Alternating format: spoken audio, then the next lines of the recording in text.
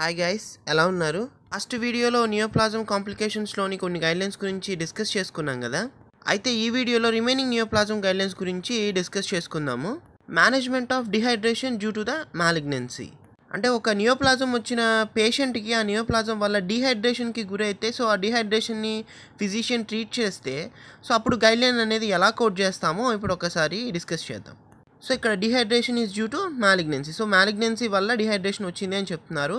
So malignancy treat చేయడం వల్ల treatment వల్ల సైడ్ ఎఫెక్ట్స్ వల్ల మనకి డిహైడ్రేషన్ వచ్చింది అని చెప్పట్లేదు. సో మ్యాలిగ్నెన్సీ వల్ల మాత్రమే డిహైడ్రేషన్ వచ్చింది అని చెప్తున్నారు. When the admission is for the management of dehydration due to the malignancy and the only the dehydration is being treated the dehydration is coded as primary diagnosis followed by the course for the malignancy అంటే ఇక్కడ admission అనేది only for the management of డిహైడ్రేషన్కే ఉంది. అంటే physician only dehydration మాత్రమే treat చేస్తూ ఉండి అంటే intravenous hydrations కానీ లేదంటే ఓరల్ హైడ్రేషన్స్ కానీ ఎట్సెట్రా ఏదైనా చేయడం వల్ల కానీ లేదంటే ఇంట్రావీనస్ రీహైడ్రేషన్స్ కానీ సెలైన్స్ కానీ అలా ఏమన్నా పెట్టిన పెట్టేసి డిహైడ్రేషన్ని ట్రీట్ చేసినట్లయితే డిహైడ్రేషన్ కోడ్ అనేది ప్రైమరీ డయాగ్నోసిస్ కింద ఇవ్వవలసి ఉంటుంది. సో డిహైడ్రేషన్ కోడ్ అనేది మనం కోడ్ చేసిన తర్వాత సో ఈ డిహైడ్రేషన్ వచ్చేసింది మ్యాలిగ్నెన్సీ వల్ల కాబట్టి సో ఆ మ్యాలిగ్నెన్సీ కోడ్ని సెకండరీ డయాగ్నోసిస్ కింద మనం రిపోర్ట్ చేయవలసి ఉంటుంది. సో ఇదంతా ఎప్పుడు కోడ్ చేస్తాము అంటే పేషెంట్ మ్యాలిగ్నెన్సీ వల్ల డిహైడ్రేషన్ వచ్చి సో ఫిజిషియన్ ఆ డిహైడ్రేషన్ని మాత్రమే ట్రీట్ చేస్తే కనుక సో ఫస్ట్ ఇలా డిహైడ్రేషన్ కోడ్ చేసి తర్వాత క్యాన్సర్ కోడ్ని రిపోర్ట్ చేయవలసి ఉంటుంది. సో ఈ ఎగ్జాంపుల్ ఇంకా డీటెయిల్గా అర్థం కావడం కోసం ఒక ఎగ్జాంపుల్ని డిస్కస్ చేద్దాము. అదేంటంటే due to the liver cancer of the patient he develop severe dehydration and he is admitting for the treatment of dehydration provider check the patient dehydration status and directed IV hydrations ఇక్కడ IV అంటే intravenous hydrations so ఇక్కడ పేషెంట్కి ఏమైంది అని చెప్తున్నారంటే పేషెంట్కి severe లివియర్ liver cancer ఉంది అని చెప్పేసి చెప్తున్నారు. సో ఆ లివర్ క్యాన్సర్ వల్ల పేషెంట్కి డిహైడ్రేషన్ సివియర్ డిహైడ్రేషన్ అనేది డెవలప్ అయింది. And he is admitting for the treatment of dehydration. So అతను ఆ పేషెంట్ ఎవరైతే ఉన్నారో సో అతను సివియర్ డిహైడ్రేషన్ని ట్రీట్ చేసుకోవడం కోసం హాస్పిటల్కి అడ్మిట్ అవుతున్నారు. Provider check the patient dehydration status and ordered IV hydration. So provider ఎవరై ఏ పేషెంట్ ఎవరైతే వచ్చారో హాస్పిటల్కి డిహైడ్రేషన్ స్టాటస్తో సో అతన్ని చెక్ చేసి సో పేషెంట్ సివియర్గా డిహైడ్రేషన్తో ఉన్నారు అతనికి మళ్ళీ రీహైడ్రేట్ చేయాలి అని చెప్పేసి ఐవి హైడ్రేషన్స్ అనేవి ఆర్డర్ చేశారు. సో ఇక్కడ ఐవి అంటే ఇంట్రావీనస్ హైడ్రేషన్ సో ఇంట్రావీనస్ ద్వారా మనకి ఈ సెలైన్స్ అనేవి హైడ్రేషన్స్ అనేవి సెండ్ చేసి సో బాడీని మళ్ళీ రీహైడ్రేట్ అవ్వడానికి హెల్ప్ చేస్తారు. సో ఈ విధంగా డిహైడ్రేషన్ని ట్రీట్ చేస్తారు. Here the patient is admitting for the treatment of dehydration so we should code dehydration as primary diagnosis so ఇక్కడ పేషెంట్ వచ్చింది సివియర్ డిహైడ్రేషన్తో అండ్ ప్రొవైడర్ కూడా ఓన్లీ ఐవీ హైడ్రేషన్ హెల్ప్తో డిహైడ్రేషన్ని మాత్రమే ట్రీట్ చేస్తున్నారు కాబట్టి సో ఈ డిహైడ్రేషన్ కోడ్ ఏదైతే ఉందో దాన్నే ప్రైమరీ డయాగ్నోసిస్ కింద రిపోర్ట్ చేయవలసి ఉంటుంది. అండ్ అలానే ఈ డిహైడ్రేషన్ అనేది వచ్చింది ఒక నియోప్లాజం వల్ల కాదు కాబట్టి సో ఆ నియోప్లాజం కోడ్ని సెకండరీ డయాగ్నోసిస్ కింద రిపోర్ట్ చేయవలసి ఉంటుంది. అంటే ఈ లివర్ క్యాన్సర్ అనే కోడ్ని సెకండ్ డయాగ్నోసిస్ కింద రిపోర్ట్ చేయాల్సి ఉంటుంది. సో అప్పుడు సీక్వెన్సింగ్ అనేది ఎలా ఉంటుంది అంటే ఈ eighty six dot zero comma C twenty two dot nine so ఈ ఎయిటీ సిక్స్ డాట్ జీరో వచ్చేసి dehydration unspecified and C double two dot nine వచ్చేసి malignant neoplasm of liver not specified as primary or secondary so ఈ రకంగా sequencing అనేది తీసుకోవాల్సి ఉంటుంది. So dehydration complication తర్వాత మనం నెక్స్ట్ తెలుసుకోవాల్సిన గైడ్లైన్ ఏంటి అంటే treatment of complication resulting from a surgical procedure అంటే ఫర్ ఎగ్జాంపుల్ ఒక పేషెంట్కి నియోప్లాజం ఉంది అనుకోండి. అలానే నియోప్లాజంతో పాటుగా ఇదివరకు పేషెంట్కి ఒక సర్జరీ అనేది జరగడం వల్ల సో ఇప్పుడు కాంప్లికేషన్ అనేది డెవలప్ అయితే సో ఇప్పుడు పేషెంట్ ఆ కాంప్లికేషన్ని ట్రీట్ చేయించుకోవడం కోసం హాస్పిటల్లో అడ్మిట్ అయితే సో ఈ నియోప్లాజం అండ్ ఈ కాంప్లికేషన్లో ఏది ప్రైమరీ డయాగ్నోసిస్ కింద కోడ్ చేస్తాము అని చెప్పేసి ఈ గైడ్లో ఈ గైడ్లైన్లో డిస్కస్ చేస్తున్నారు. జనరల్గా మనకి కొన్ని రకాల ప్రొసీజర్స్ అనేవి చేస్తూ ఉంటారు కొన్ని కండిషన్స్ని ట్రీట్ చేయడం కోసం. సో ఏదైతే కండిషన్ని ట్రీట్ చేస్తారో ఏదైతే ప్రొసీజర్స్ చేస్తారో సో ఆ ప్రొసీజర్స్ వల్ల కూడా కొన్ని కొన్నిసార్లు కాంప్లికేషన్స్ అనేవి రావడం జరుగుతుంది. సో ఆ వచ్చిన ఆ ప్రొసీజర్ వల్ల వచ్చిన కాంప్లికేషన్స్ని ప్రొవైడర్ విడిగా ఆ కాంప్లికేషన్ని ట్రీట్ చేస్తూ ఉంటారు. సో అయితే ఈ కాంప్లికేషన్స్ అండ్ నియోప్లాజమ్స్ ఒకేసారి వచ్చి ఈ కాంప్లికేషన్స్ మాత్రమే ట్రీట్ చేసినట్లయితే ప్రొవైడర్ అప్పుడు మనం ఏం డయాగ్నోసిస్ని కోడ్ చేయాలనేది ఇప్పుడు డిస్కస్ చేద్దాం. When the admission is for the treatment of a complication resulting from a surgical procedure, designate the complication as primary diagnosis if the, if the treatment is directed towards the complication.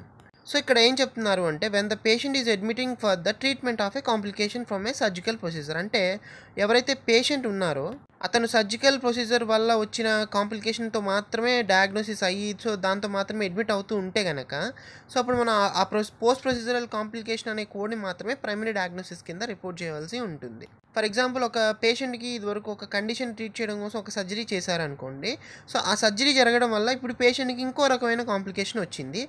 So ఇప్పుడు ఆ complication treat చేయించుకోవడం కోసమే patient హాస్పిటల్లో admit అయ్యారు. So దీనికోసమే ఈ complication కోసమే admit అవుతున్నారు కాబట్టి ఈ పోస్ట్ ప్రొసీజరల్ కాంప్లికేషన్ని మాత్రమే ప్రైమరీ డయాగ్నోసిస్ కింద కోడ్ చేయాల్సి ఉంటుంది. Designate the complication as primary diagnosis if the treatment is directed towards the complication treatment మొత్తం కూడా గనక ఈ కాంప్లికేషన్ చుట్టూ వైపే డిజిగ్నేట్ చేయబడినట్లయితే సో ఆ పోస్ట్ ప్రొసీజరల్ కాంప్లికేషన్ని మాత్రమే ప్రైమరీ డయాగ్నోసిస్ కింద కోడ్ చేయాల్సి ఉంటుంది. సో ఎగ్జాంపుల్ ఇంకా డీటెయిల్గా అర్థం చేసుకోవడం కోసం ఒక ఎగ్జాంపుల్ని డిస్కస్ చేద్దాము. అదేంటంటే few days ago a patient has hernia surgery now that the patient now that surgery site becomes infectious with ongoing bad odor and green color pus and also patient having uh, prostate cancer from the last on year provider is treated his complication by doing incision and drainage procedure and by placing with antibiotics so ఇక్కడ ఈ ఎగ్జాంపుల్లో పేషెంట్కి ఏమైంది అని చెప్తున్నారు అంటే పేషెంట్కి పాస్ట్లో hernia అనే ఒక ప్రాబ్లం వచ్చింది సో ఆ హెర్నియా అనే ప్రాబ్లమ్ని ట్రీట్ చేయడం కోసం ఒక ప్రొవైడర్ హెర్నియా సర్జరీ అనేది చేయడం జరిగింది సో ఆ సర్జరీ చేసిన తర్వాత కొంత కొన్ని రోజుల తర్వాత ఆ సర్జరీ సైట్ నుంచి ఇన్ఫెక్షన్ అనేది డెవలప్ అయింది. సో ఆ ఇన్ఫెక్షన్ అనేది ఎలా ఉంది అంటే ఆన్ గోయింగ్ బ్యాడ్ ఆర్డర్. అంటే ఒక చెడు వాసన వస్తుంది. అండ్ అలానే గ్రీన్ కలర్ పస్. అంటే ఒక గ్రీన్ కలర్లో పస్ అనేది రావడం జరుగుతుంది. అండ్ అలానే అది బ్యాడ్ ఆర్డర్గా ఉంది. అంటే చాలా బ్యాడ్ స్మెల్ అనేది రావడం జరుగుతుంది. అండ్ అలానే పేషెంట్కి ప్రొస్టేట్ క్యాన్సర్ కూడా ఉంది అని చెప్పేసి ఇక్కడ చెప్తున్నారు. And the provider is treated is complication by doing incision and drainage procedure. I N D procedure అంటే సో అతన్ని ఆ పస్ని లేదా ఇన్ఫెక్షన్ ఏదైతే ఉందో దాన్ని డ్రైన్ చేస్తారు. సో దీన్ని ఇన్సిషన్ అండ్ డ్రైనేజ్ ప్రొసీజర్ అంటారు.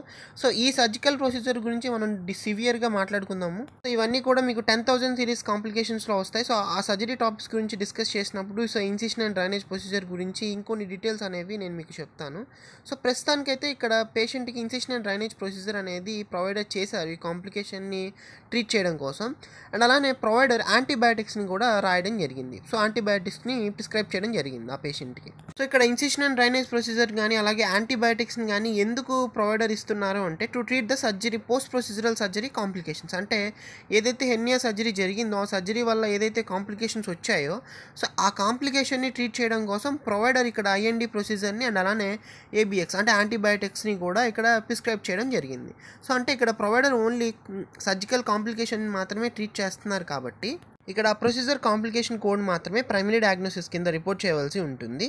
ఆ తర్వాత మాత్రమే నియోప్లాజమ్ కోడ్ని రిప్రజెంట్ చేయవలసి ఉంటుంది. Here the patient is admitting to treat the complication Because of his surgery, provider is also treating the complication as resulting from the surgery, hence the complication is coded as primary diagnosis, followed by the cancer code as secondary diagnosis.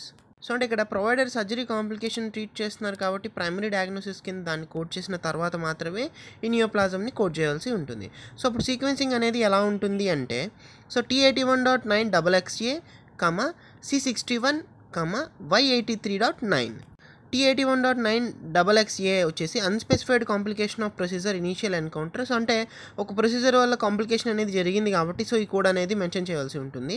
So అంటే ఇది complication కాబట్టి so provider దీన్ని treat చేస్తున్నారు కాబట్టి మనం primary diagnosis కింద ఈ కోడ్ని రిపోర్ట్ చేసిన తర్వాత సో నియోప్లాజమ్ కోడ్ని కోడ్ చేయాల్సి ఉంటుంది. సో అప్పుడు సి సిక్స్టీ వన్ అనే కోడ్ అంటే ప్రోస్టేట్ క్యాన్సర్ కోడ్ని కోడ్ చేయాల్సి ఉంటుంది.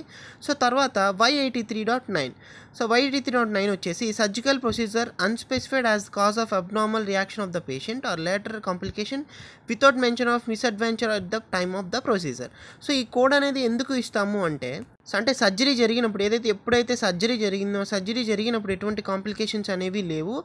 సో ఇప్పుడు అబ్నార్మల్ రియాక్షన్ కూడా ఏమీ జరగలేదు ప్రొసీజర్ అనేది చేస్తున్నప్పుడు.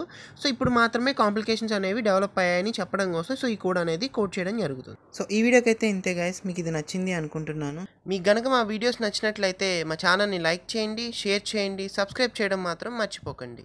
అండ్ అలానే మేము నెక్స్ట్ టైం వీడియోస్ అప్లోడ్ చేసినప్పుడు మీకు అవి నోటిఫికేషన్ ద్వారా రావాలి అంటే పక్కనున్న బెల్ ఐకాన్ని క్లిక్ చేయండి. Thank you